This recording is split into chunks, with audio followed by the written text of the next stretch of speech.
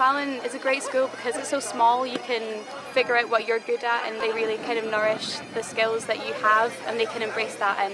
will lead you into what you want to do in life. And I think because it's such a small community, you can feel comfortable around everyone, and you feel like you